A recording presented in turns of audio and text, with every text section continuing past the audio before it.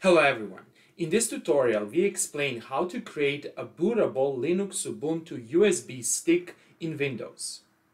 With a bootable USB stick you can install or upgrade Ubuntu Linux, test out the Ubuntu desktop experience without actually touching your PC configuration, boot into Ubuntu on a borrowed machine or from an internet cafe, or use tools installed by default on the USB stick to repair or fix a broken configuration. Consequently, if you want, for example, to install completely from scratch Linux Ubuntu, or if you want to test Linux Ubuntu or fix it, it's a good idea to have a bootable USB stick. Here are the requirements you will need 4 GB or larger USB stick or flash drive. However, I suggest you that you have at least 16 GB USB stick. You need Microsoft Windows.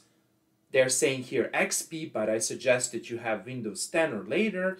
Then you need to have Rufus. Rufus is a free and open source USB stick writing tool. And then you will need to download the Ubuntu ISO file. Okay, so let's go over these steps. The first step is to install Rufus. To install Rufus, you can either open Google, search for Rufus, or you can go to this website.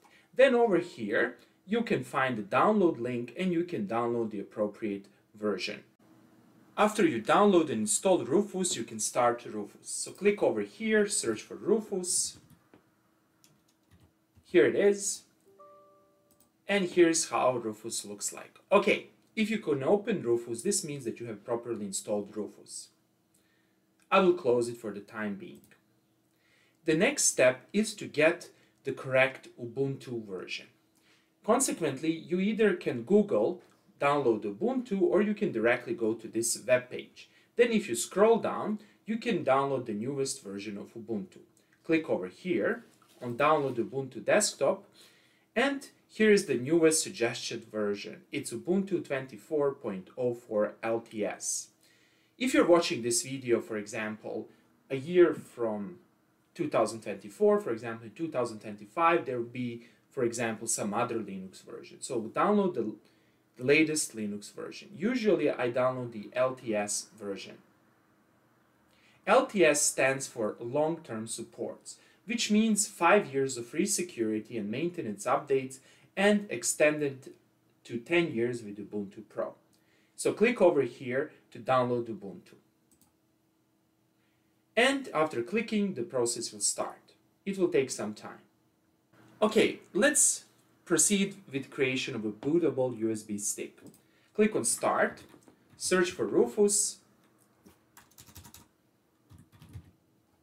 and run Rufus.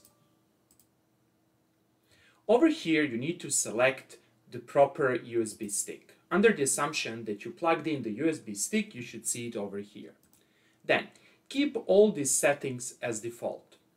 Don't change anything for the time being. Then click on Select to locate your Ubuntu desktop ISO file. In my case, it's in the download folder. So I will select it, click on Open, and you can simply press start. Don't change any of these options. Now, here you have several options. Select this option, write in ISO image mode. This is recommended, click OK, and click OK. Click OK, and then you have to be patient.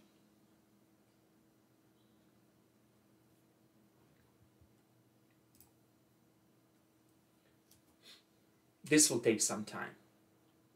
After approximately 5 minutes, you will get this green square over here means that you have properly installed and created a bootable Ubuntu Linux USB drive. Okay, that's all for today.